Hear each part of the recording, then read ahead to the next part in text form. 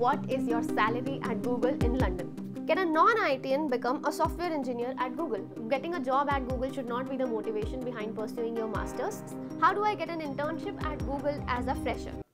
Hi guys, my name is Garima. Welcome to my YouTube channel. I'm a software engineer at Google in London and I constantly receive a lot of queries asking how to land a job at Google. Therefore, two weeks ago, I shared a reel on my Instagram asking you all to drop your questions in the comments that you would like me to answer. Thankfully, that reel got a great response and it has more than 300 comments, which means I cannot answer them all in a single video. So, I thought of creating a Q&A series where I will be answering your questions every two weeks. So, even if your question is not answered in this one, don't worry, it will be covered in the upcoming ones. Okay, sounds like a plan? Let's jump right in. So the first question is from Harish and Sonali and they ask what is your education qualification? So I have done Bachelor's of Technology in Computer Science from USIT IP University and then I did my Master's in Computer Science from IIT Delhi. So the next question is asked by Fiza, Vishal, Amar and a lot of you which is can a non-IITian become a software engineer at Google? So the answer to this question is yes, you absolutely can. In fact, I personally know a lot of people in Google who are not from tier 1 universities. See how IITs and other brand universities help you is they give you an edge over others in getting your resume shortlisted. But you don't have to worry if you have a solid profile and once you're past that stage, everything comes down to your performance in your interviews.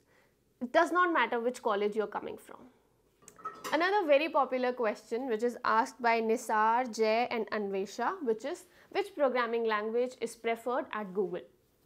Okay, so I understand why this is a big concern to all of you but let me make it very clear that Google does not have any preference of language. They do not use language as a criteria to either shortlist your resume or while interviewing you.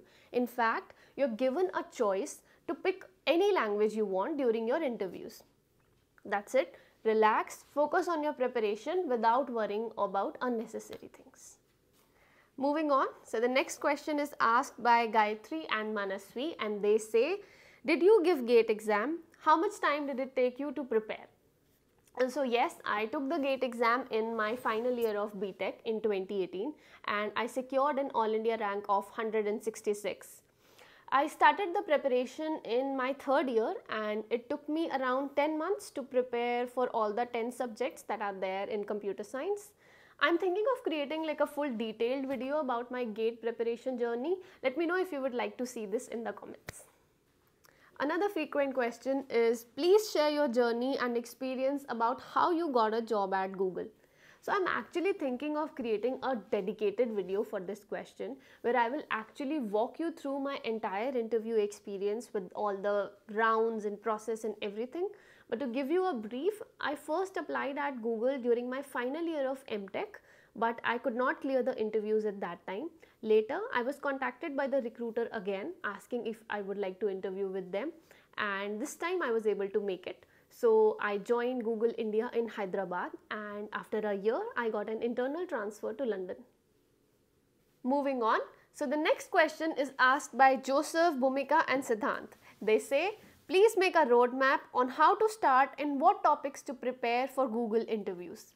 Okay, so there is no single roadmap that would work for everyone equally because everyone could have different times, different problem areas on how and how they want to work through it but generally speaking, problem solving is a non-negotiable skill for Google interviews.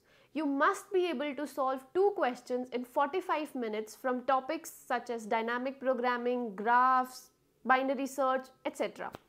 And in fact, if you're someone who is applying for a higher level role, you must also have a solid grasp of system design as well. I will try to make a generic roadmap where we will cover these topics in much more detail. The next question is asked by Madhu, Hardik, Harsh and many more which is how do I get an internship at Google as a fresher? So Google offers two internship programs, STEP and Software Engineering Internship. STEP program is only applicable to first and second year college students while the other one is applicable to undergraduate, postgraduate and PhD students as well. In both of these internships, you are given a good stipend and it's usually 12 weeks long. You get to work on a really technical, challenging project with full-time Googlers and other interns. I will pop the link in the description box for both of them where you can just go and apply for them online. Moving on, the next question is by Supraja and they say, should I pursue a master's to land a job at Google? Absolutely not getting a job at Google should not be the motivation behind pursuing your master's. The minimum qualification for any software engineering role at Google is bachelor's. So doing a master's is absolutely up to you and your interest. Final and the most interesting question, what is your salary at Google in London? I'm sorry but I cannot disclose the number but let me tell you that the salary depends on your role, your level and your location. So let me give you a link to levels.fyi where you can just input these numbers to get an idea about the average salaries of a Googler. Hope you liked the video. Don't forget to hit the like button, subscribe to my channel and drop your questions in the comments that you would like me to answer in the next video.